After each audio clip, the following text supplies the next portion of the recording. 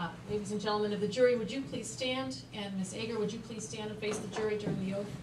Ladies and gentlemen of the jury, would you raise your right hand and keep it raised during the oath? And at its conclusion, would you each say, "I do"? Do you solemnly swear or affirm that you will carefully consider the evidence and the law presented to you in this case, and that you will deliver a fair and true verdict as to the charge against the defendant, so help you God? I do. Thank you. Members of the jury may be seated. Uh, Please listen to reading of the charge. The Docket number is 2011 S1052. The undersigned complains that Catherine Ager of 6 Mix- Mystic Place in Keene, New Hampshire, at 351 Chestnut Street in Manchester, New Hampshire, on the fourth day of June 2011 at 4:45 PM in said county and state, did commit the offense of resisting arrest or detention contrary to statute and the laws of New Hampshire for which the defendant should be held to answer, in that the defendant did knowingly physically interfere with a person she recognized to be a law enforcement official seeking to effect her arrest when she struggled with Officer Elston, Sergeant Mucci, and Sergeant Patti as they attempted to handcuff her against the peace and dignity of the state. Ladies and gentlemen of the jury, the defendant, Catherine Ager, has been arraigned on this charge and has pled not guilty, and of this she puts herself upon her country for trial, which country you are. The Assistant County Attorney, Charlene Dulac, has joined the issue, and you are to say by your verdict if the defendant, Catherine Ager, is guilty of the offense whereof she stands charged, or not guilty. Hearken to the evidence. Good morning, ladies and gentlemen. Uh, Let me just give you some preliminary instructions uh, before the attorneys begin. Uh, First, let me say that notwithstanding the presence of of of video equipment in the courtroom, and just so you know, the videographers have been instructed clearly that they are not to be photographing you. They are photographing the witnesses. They can certainly take as many pictures as me as they want, um, and of counsel and Ms. Ager, but they are not to be photographing you, and they've confirmed that, and that's court order, and they understand it, Uh, just so you know. But uh, notwithstanding the fact that, uh, uh, th- that there are cameras in the courtroom, this is not television. Um, And uh, you shouldn't expect this case to proceed as cases do on television. Television is entertainment. This is real life. Um, This is not Boston Legal or Law and Order or any of the, ver- or The Good Wife or any of the new TV shows. Um, uh, And you shouldn't expect what happens in this courtroom to bear any, any real resemblance to what goes on. If, if any resemblance to what actually happens on TV is serendipitous. Uh, They don't, they don't follow the law, they follow the script. Um, uh, And, and they're dealing with entertainment here, we're dealing with, with serious business. We're dealing with uh, the way our justice system addresses accusations against our citizens. Um, uh, And, and, uh, and I, I trust you will see the process unfold in a way far differently than it unfolds on television. I wouldn't expect Attorney Dulac to conduct herself as attorneys do on television, and I wouldn't expect that I would conduct myself as judges, or those people that are acting as judges, I do on television. Um, You, um, as the jury, are the finders of fact from the evidence. The evidence in this case uh, will be the testimony of witnesses, and there are some exhibits that will be introduced into evidence as well, some videotapes. Um, uh, The order of the trial is as follows. Um, You will first hear the opening statements by counsel. The state, because it has the burden of proof, will go first, and then Ms. Ager will be, uh, will have an opportunity to address you. Opening statements are not evidence. Opening statements just allow the parties um, to preview what they think the evidence will show from their, from their particular point of views, points of view, pardon me. After the, after the parties have provided you with their opening statements, um, we'll move to the taking of testimony.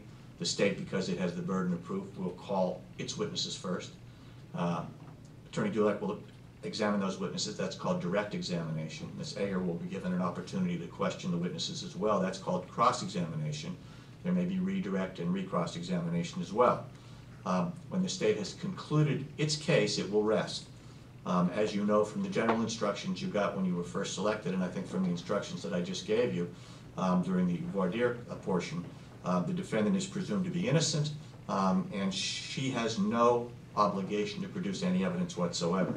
The burden of proof in a criminal case remains with the state to prove its case beyond a reasonable doubt throughout the course of the trial. Uh, During the course of the trial, there may be objections made. Uh, Either party can make objections, um, and uh, it- they are simply seeking to enforce the legal rules of evidence. The parties may come to the bench for a further discussion about the the bases for their objection. Um, You should draw no inferences from the rulings I make on objections, and you'll hear that instruction again at the close of the case. Uh, When all the evidence is in, the, the, uh, Ms. Ager and Attorney Dulac will present their closing arguments. Once again, those arguments are not evidence. Um, They simply uh, give the parties an opportunity to present to you what they, what they believe the evidence has shown, but ultimately the decision is yours. At the close of that portion of the case, I will instruct you on the law. Um, And after I instruct you on the law, you will then deliberate uh, to reach a verdict. Um, We will break during the course of the trial at at interval, regular intervals, but if, if you need a break for whatever reason, um, and, and we haven't announced the break, just raise your hand and we'll take a break. Um, Let me just say that if during the course of the trial you have any questions, something arises that you're not sure about, a process or a personal matter, or something that has arisen that you believe should be brought to my attention, do not discuss it with other jurors. Bring your problem to the bailiff's attention, and he will then inform me and I will address it. But do not discuss any issues that might arise, personal concerns that might arise with fellow jurors. Um, And um, once again, uh, you just heard me say it uh, about 15 minutes ago, but you're not to discuss the case with one another or with any third parties or engage in any, any independent research until the proceedings are over. You will discuss the case when you retire to deliberate. Attorney Dulac. Yes, Honor, thank you.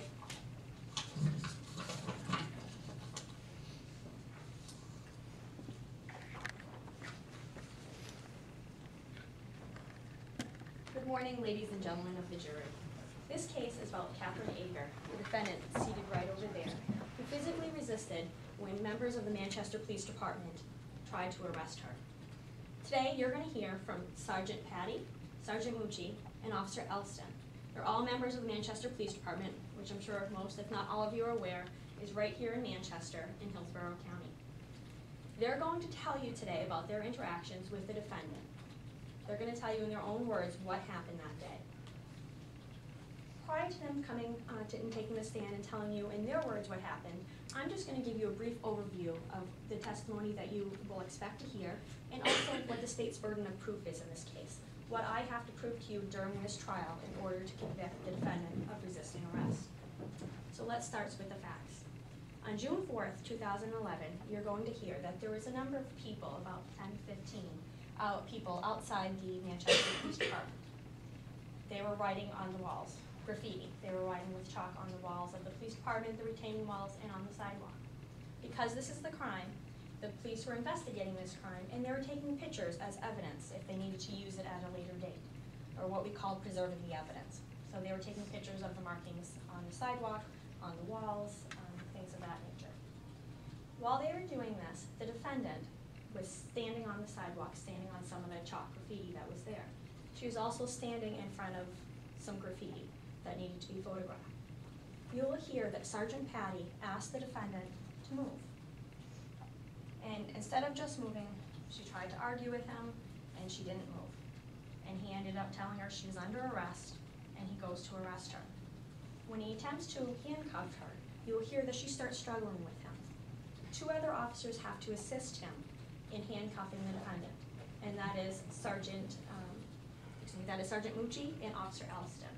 Those are the other two officers that have to assist him in handcuffing the defendant. You will also see a video, uh, quite a bit of it was captured on a video, and you'll be able to see that as well. It's a little hard to see, but you will be shown that video during the course of this trial. You'll also hear the defendant telling them to get off of her, but using some swears when she's doing so. The defendant's physical, the physical act of struggling is why we're here today. That's resisting arrest. When an officer is trying to arrest you or detain you, you're not, you can't fight back. You, you submit to the arrest. That is the law of the state of New Hampshire. Whether you believe it's legal or illegal, you don't resist arrest, and there's a reason for that. It's for the safety of officers and for the safety of everyone else around.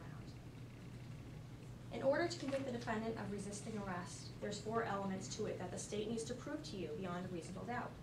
The first is that the defendant acted knowingly, meaning that she was aware of what she was doing, that she physically interfered with another person, and that she knew that the other person was a law enforcement official, and that the official was trying to arrest or detain her. Well, when you see this video, and when you hear from the officers, they're in full uniform, they're outside the Manchester Police Department, um, and they'll tell you that she resisted that day. The state is going to prove all of these elements to you beyond a reasonable doubt, and at the end of this trial, I'm going to appear before you again and ask that you find the defendant guilty of this crime. Hi,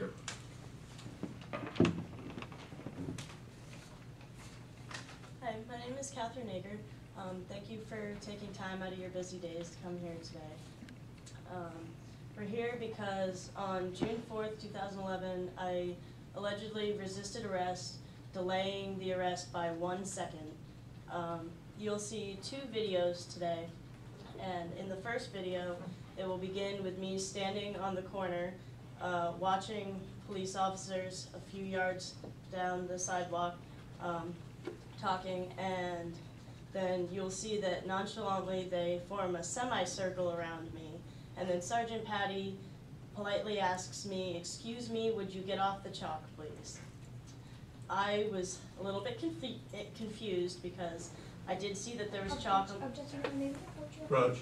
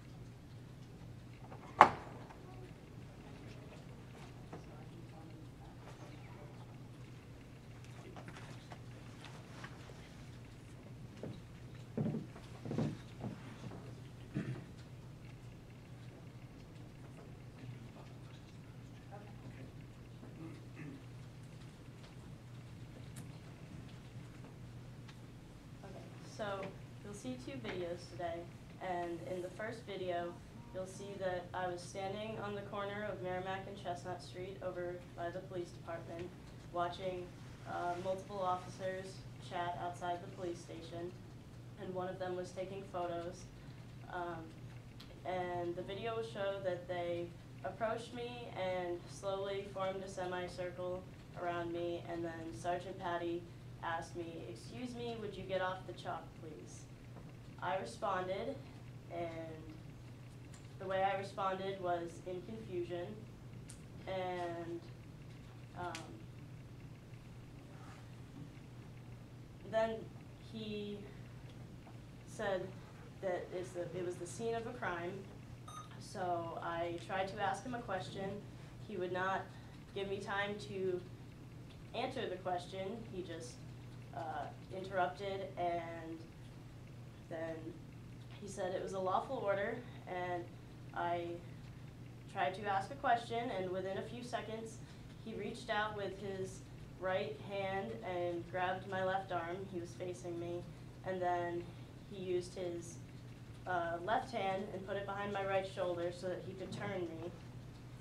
And at that time, the way I was turned caused me to sort of lose balance, and you'll see in the video that they lowered me to the ground where I lay, not struggling, um, while they applied the handcuffs to me.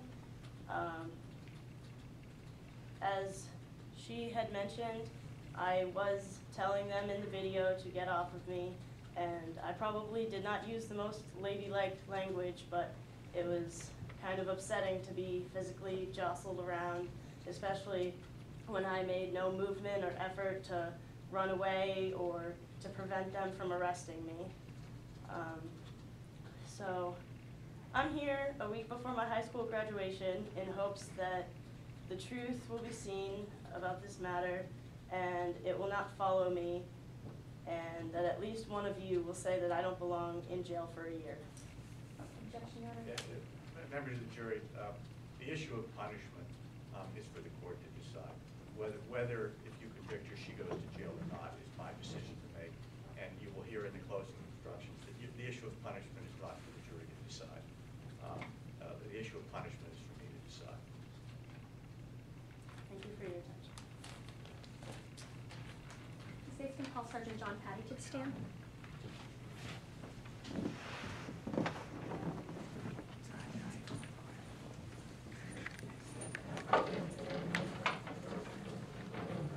to the remain standing and there's one right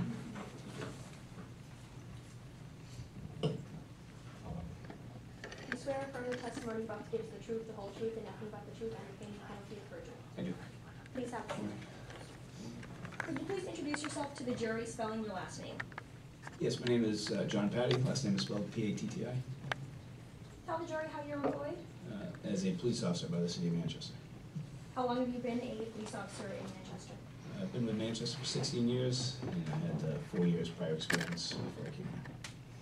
Are you a certified police officer in the state of New Hampshire? Yes, Where is the Manchester Police Department located? uh, it's 351 Chestnut Street, it's uh, actually across from the front of this building. And what county is that in? Hillsborough.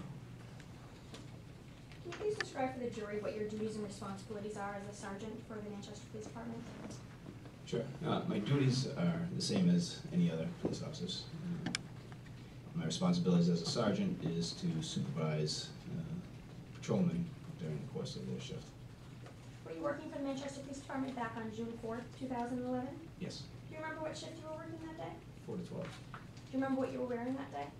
Uh, this uniform, it's called the uniform of the day, it's just uh, short sleeves for the, for the summer weather. Is there also a hat that you wear with it? Yes, Were you wearing a hat on that day, do you remember? no, I was not, So just the uniform that you have on now? yes. Can you please tell the jury, um, what was happening outside the police station that day? Just a brief overview. Uh, there was a group of maybe fifteen to twenty people, uh, who were, um, protesting some of our police activities outside of the police department. They were, writing on the building, uh, the exterior of the police department and the surrounding, we have a retaining wall that's up in front of the police station. Um, they were writing slogans up on the building with, uh, chalk, Was that also on the sidewalk and retaining wall as well? yes, Was this considered a crime? yes it was. And what, as a result of it uh, being a crime, uh, was there anything done to preserve uh, the evidence or, or the markings that were made on the walls and, sidewalk? Sure. There were, um, prior to, um, what we would consider the collection of some evidence, there were uh, a number of arrests that had been made. Um, so, in order to document what had occurred, uh, before the arrests, um, I had asked some detectives to come out and take photographs of the writings that had been written on the wall in the surrounding area. And were they doing that? Were they taking photos? Yes.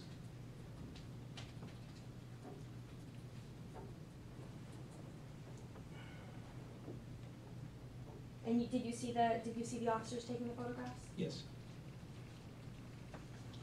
And while the officers were, uh, they're actually detectives, is that right? Yes. Uh, while the detectives were taking photographs, what was occurring at that time? Uh, A number of the uh, people in this group were still uh, in the area, still around, um, on the sidewalk in front of the police department.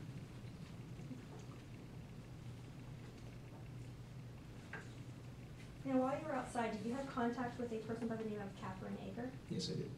Do you see her here in the courtroom today? Yes, at the defense table in the uh, black dress. Can I please let the record reflect the witness identified the defendant? Yes. And can you please explain for the jury how you came in contact with her on June fourth, two thousand eleven? Um, As the uh, detectives were um, beginning to photograph the area, and you know, if I can use this as front, you know, the police station would be here, uh, Chestnut Street is in front, so they would have to come around from the side of the building and then begin northerly. um, Your Honor, I'm sorry, may I stop for a moment? Is it okay if he uses that board over Certainly. to show that to the jury? It's heavy. I'll let him look good.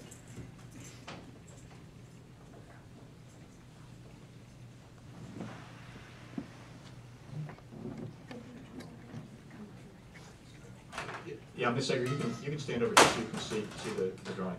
And actually, do you want to just move it down a little bit, so I, a little out so the judge can see it? I, well? I, it's more important the jury see it than I see it. Thank you. So if you could just draw the police department and, and where you you were just talking about.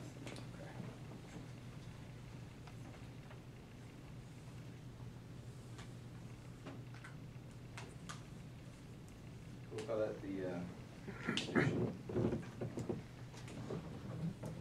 Can- uh, You want to stand on the other side, Ms. Ager? I, you- the officer's standing over here, why don't you move over to the other side, and you can be able to see more, more easily. You're, you're gonna block the jury, you, you gotta go back a little bit. There you go. Jurors all see now? Okay. Okay, thanks.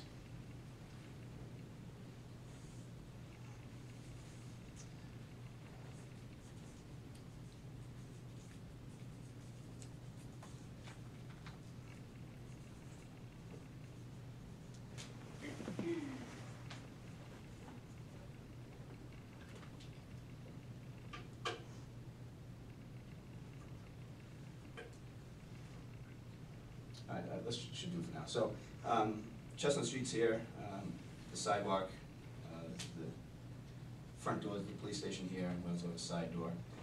Um, Now, in front of the police station is a retaining wall, uh, so the detectives were photographing um, graffiti that had been written on the building here, um, along the sidewalks, along the retaining wall, and then they were gonna walk northerly up here and continue photographing everything that had been written.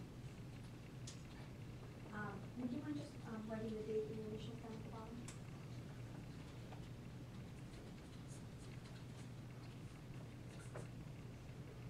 So when you come out of the police department, where are you?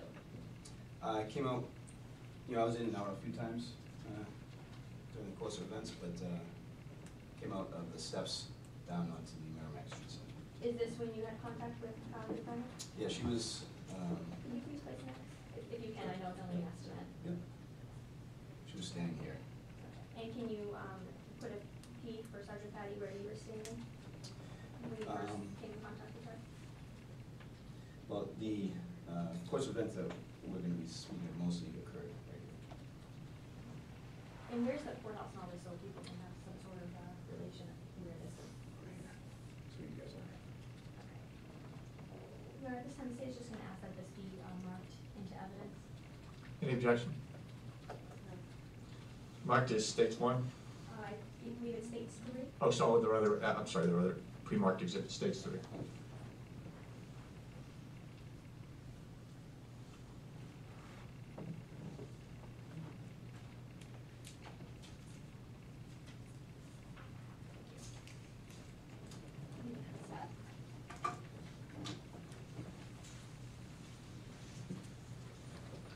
Ager, can you see Is this in your way? Yeah, why don't we move this? I think it's right in her sight line.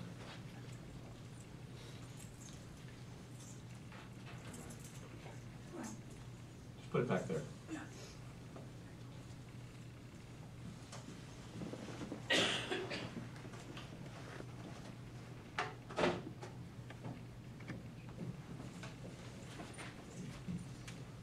So can you, um, finish explaining how you came into contact with the defendant outside the police department? Sure. A- As the uh, detectives were going to be walking uh, onto Chestnut Street and then beginning northerly, uh, she was standing where that X is, um, and I told her she was going to need to move uh, because we were going to be taking photographs. And did she, did she move when you asked her to? No, she didn't. What did she do?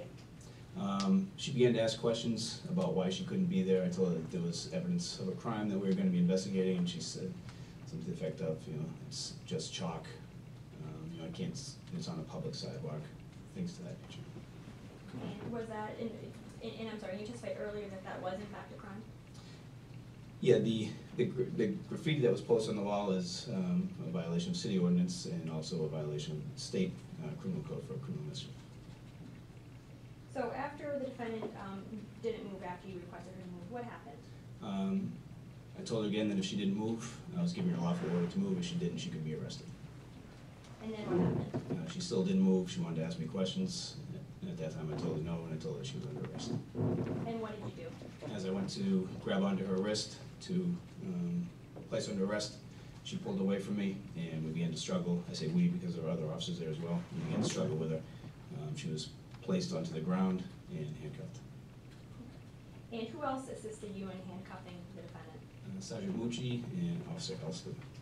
Uh, while you, uh, while you, all three of you were involved in trying to handcuff her, was she still struggling? Yes.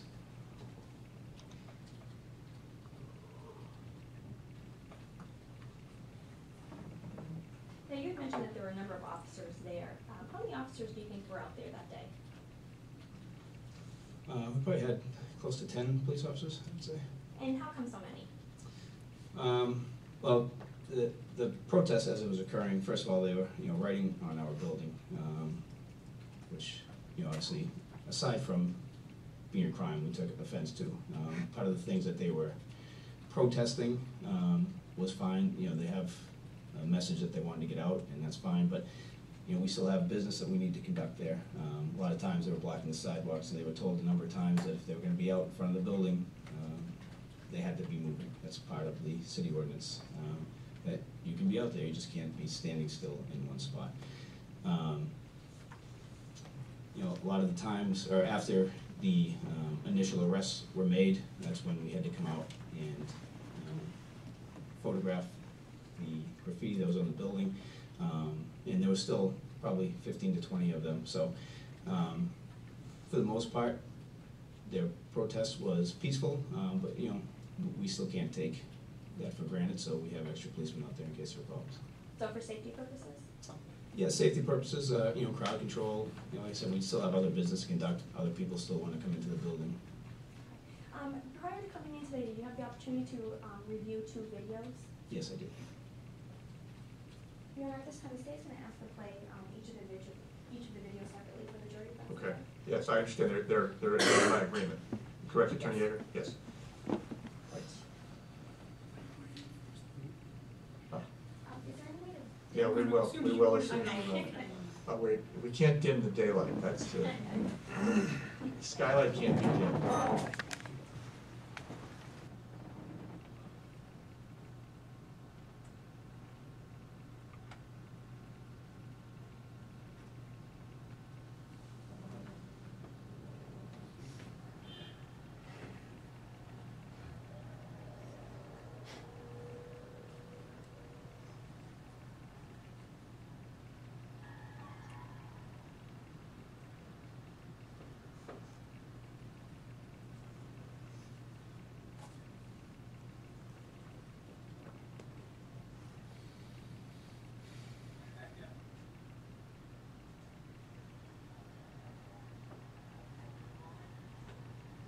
Officer, is there anybody, is there anything that you can point out in here, like where you are or anything like that while this is playing?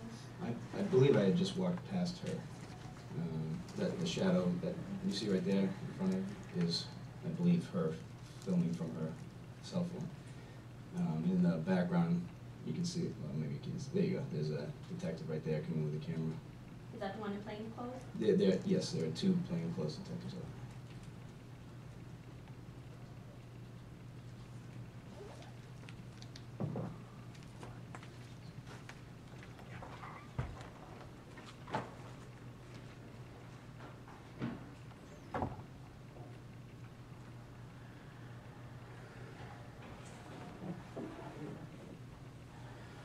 Get off the chalk. I'm standing on the sidewalk.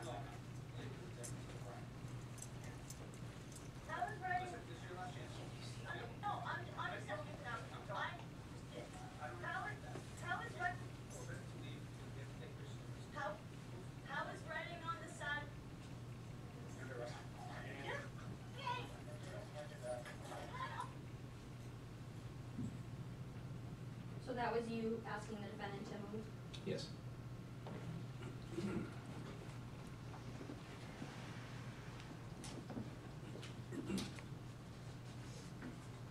I'll show you what has now been marked as stage two.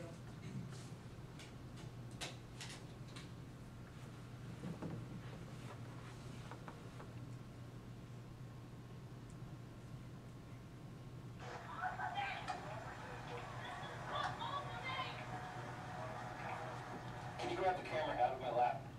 Is and that the do defendant something, right there? uh, with it? Yes, yeah, in the pink sweater.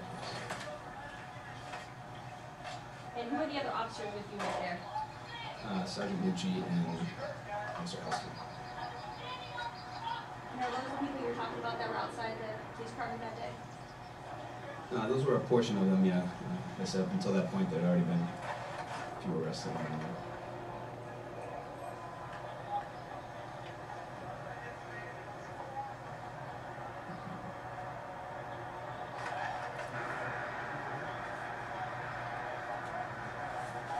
And which one is the defendant?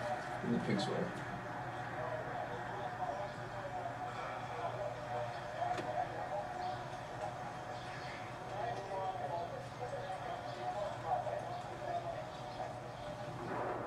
Now, at the beginning of this uh, video, um, are you able to see that the defendant is actually struggling with with you and the other officers? Yes. I'm just gonna replay it in a minute and actually have you point that out um, to the jury if that's okay, because it's a little hard to see.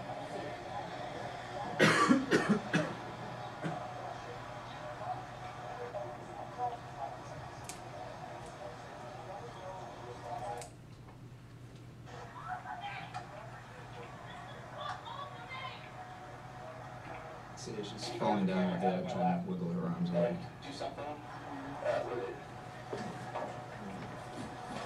And that's when the other officer steps, the other two officers had stepped in. Yes.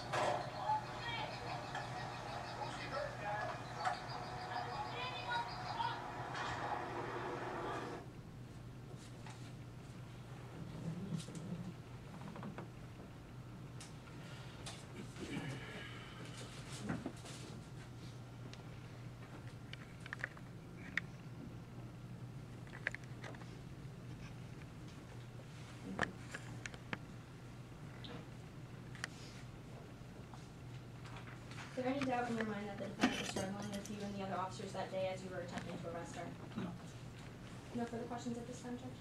Let me cross-examine.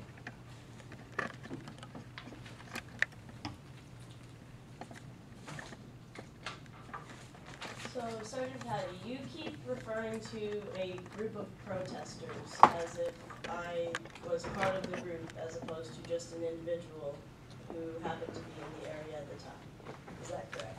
Is there a reason that you feel that I was part of a group as opposed to just an individual?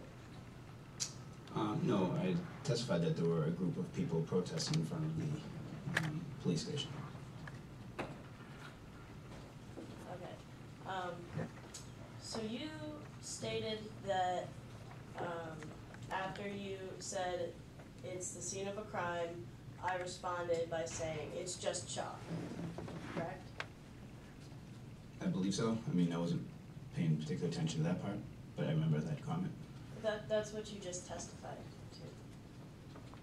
Yeah, there was, again, I don't know your response to, you know, my, my Okay. statement to you, but. Okay, well, you did just testify that I was saying it's just chalk, when in reality I was asking how is, and you never heard the end of my question because you began to talk over me, correct?